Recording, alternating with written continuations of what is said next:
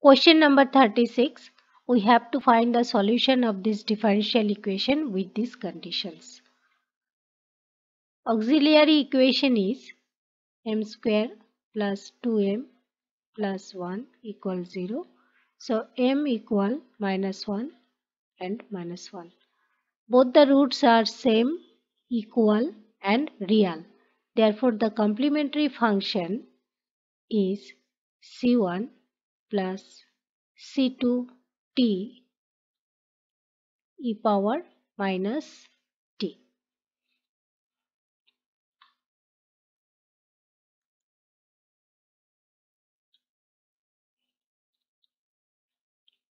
Particular integral is 0 because the right hand side of the differential equation is 0. Therefore, the general solution y is cf plus pi that is c1 plus c2t e power minus t only. Now when t is 0, y is 1. So this term is 0 and e power 0 is 1. So c1 is 1. Now let us find the derivative of y. Then y prime is First we will differentiate c1 e power minus t. So we have minus c1 e power minus t. Then we will differentiate c2t e power minus t. So plus c2 e power minus t. Then minus c2t e power minus t. So when t is 0, y prime is 1. So the first term becomes minus c1 and the second term becomes plus c2 and the third term is 0. So we will have minus c1 plus c2 equal 1. So C2 is 2. Now the general solution becomes y equals to 1 plus twice t e power minus t. So option B is the correct answer. Question number 37. A vector p is given by this we have to find solenoidal and irrotational for P. If P is solenoidal, then grad dot P is 0. If P is irrotational, then grad cross P is 0. Now we have to check which condition is satisfied for this vector function.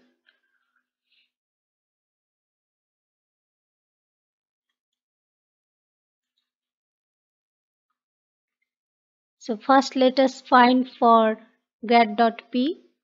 Grad dot p means del del x of x cube y plus del del y of minus x square y square plus del del z of minus x square y z.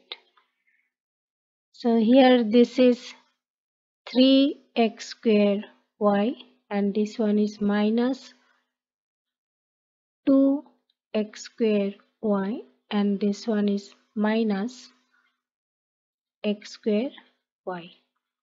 So this is 0. Therefore P is solenoidal. Now let us check for grad cross P. Now let us check for irrotational. For irrotational we know AX, AY, AZ del del x del del y del del z x cube y minus x square y square minus x square y z which is not equals to 0. Therefore, P is not irrotational. Option A is the correct answer. Next question. Which one of the following graphs describes the function fx equals to e power minus x, x square plus x plus 1? So here the function is the product of two distinct functions.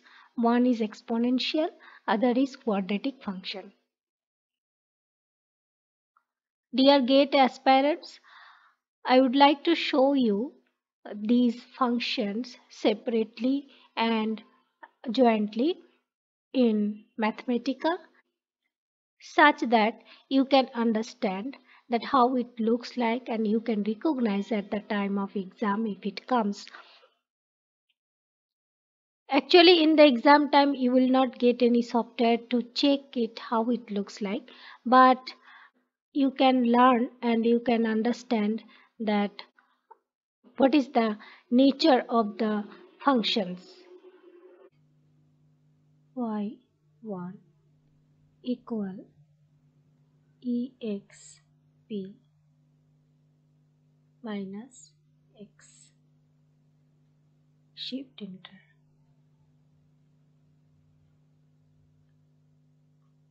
Okay. Y2 equal x square plus x plus 1 y equal y1 multiplied by y2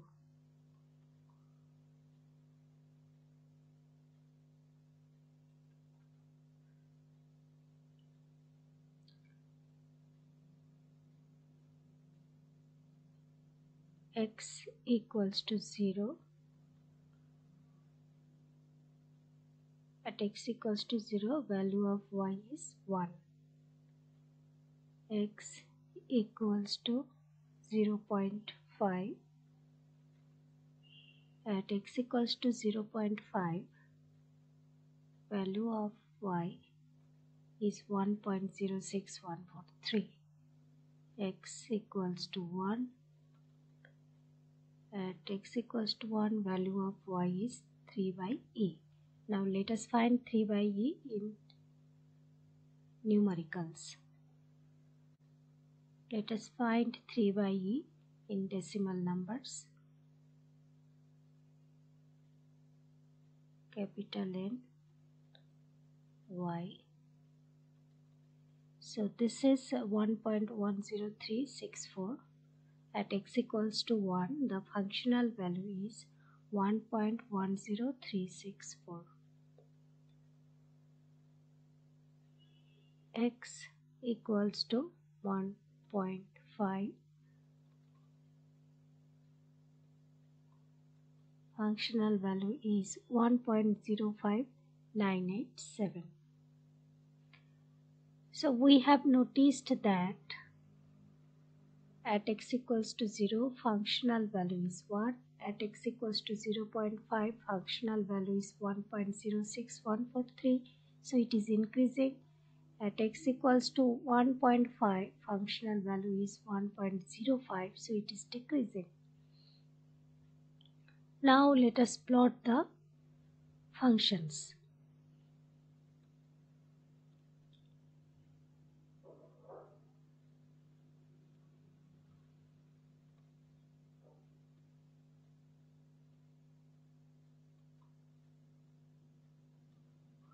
So this is the exponential function graph.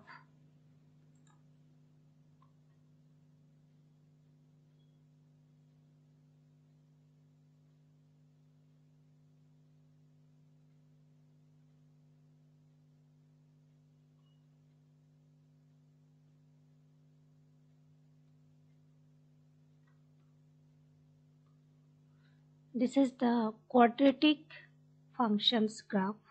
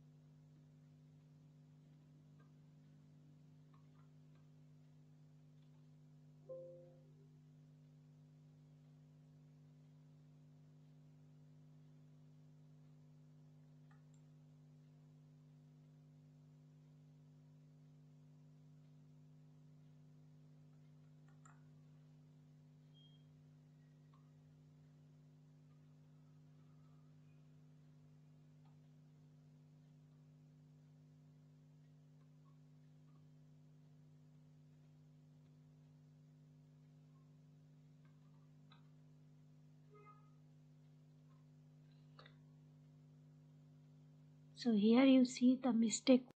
The mistake was that here the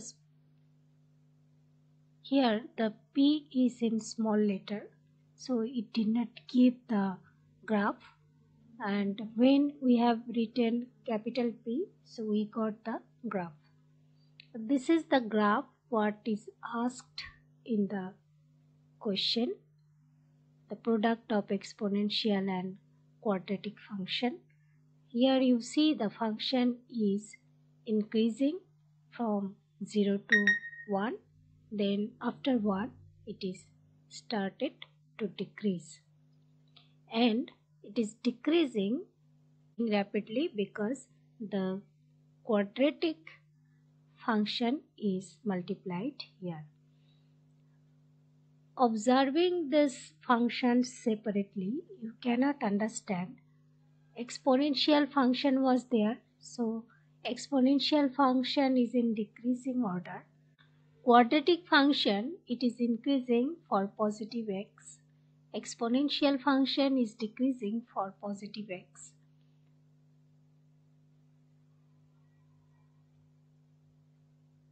The product function is product of these two functions is decreasing after 1.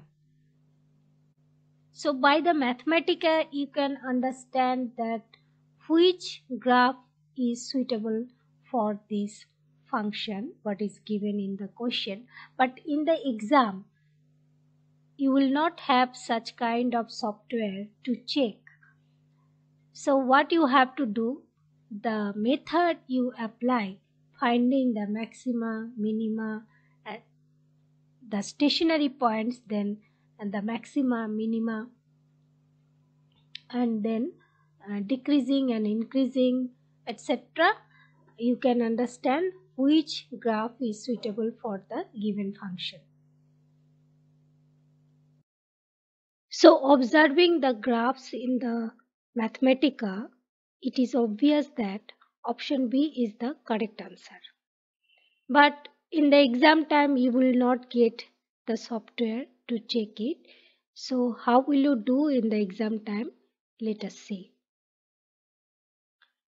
Here fx equals to e power minus x x square plus x plus 1. So you can find at f0 at f0 it is 1 at f1 it is 3 by e. Now f prime x is e power minus x 2x plus 1 plus minus e power minus x x square plus x plus 1.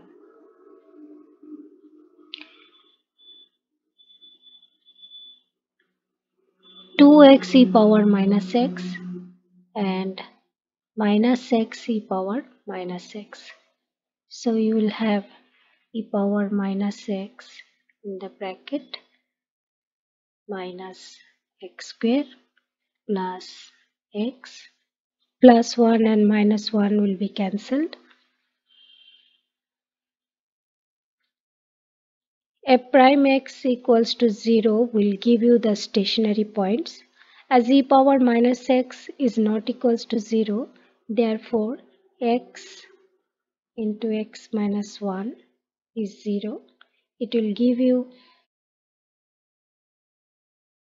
so the stationary points are 0 and 1. Now we will find maxima and minima. f prime x is e power minus x minus x square plus x.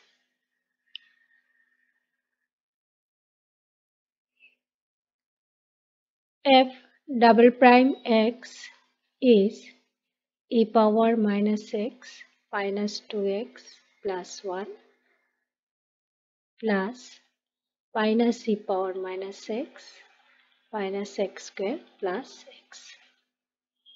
So at x equals to 0, f double prime x is, so this term is 0 and e power minus 0 that is 1. So this term is 1 plus this term is minus 1 and uh, these two terms are 0. So this is 1 which is greater than 0. Therefore x equals to 0 is the minima.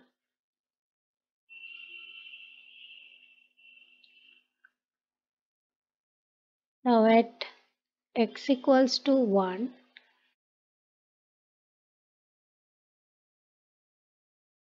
this is minus 2 plus 1 so minus 1 minus 1 e power minus 1 1 by e minus 1 by e. And here minus 1 plus 1 so 0 this term 0 therefore f double prime x at 1 is minus 1 by e which is less than 0 therefore x equals to 1 is the maxima.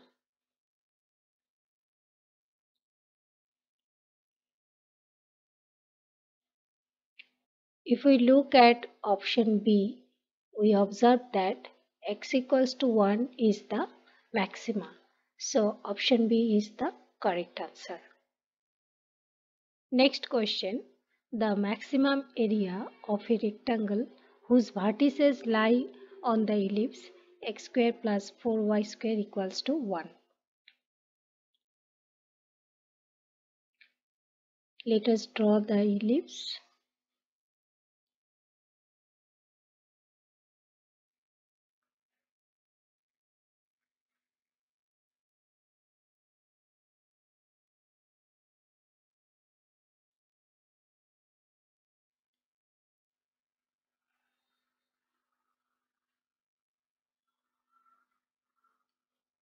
Rectangle inscribed in the ellipse. Let us take 2x and 2y as length and depth respectively.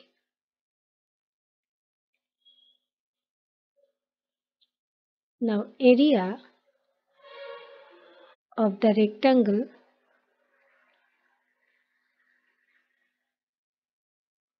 equal 4xy. Consider f as area square that is 16 x square y square 16 x square y square is 1 minus x square by 4 from the equation. Now this is 4 x square 1 minus x square.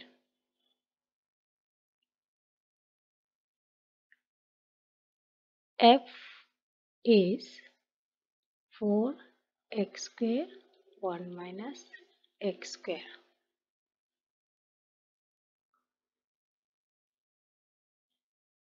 f prime is 8x 1 minus x square plus 4x square minus 2x. So this is 8x minus 8x cube minus 8x cube. So this is 8x minus 60x cube. f prime equals to 0 will give us the stationary points. So 8 x common 1 minus 2x square is 0. So either x equals to 0 or x equals to plus minus 1 by root 2. As because x is related with the side's length, so it cannot be 0 and negative. So at x equals to 1 by root 2, we have to find the nature of f double prime x. That is 8 minus 48 x square. f double prime at x equals to 1 by root 2 is negative. So which is less than 0. Therefore, x equals to 1 by root 2 is maximum. f will have the maximum value at x equals to 1 by root 2. So area is maximum area is 4 into 1 by root 2 and square root of 1 minus 1 by root 2 square by 4. So this is 4 by root 2 and this is half 1 minus half is 1 by root 2 square root of 4 is 2 2 to 4 and 2 4 so this is 1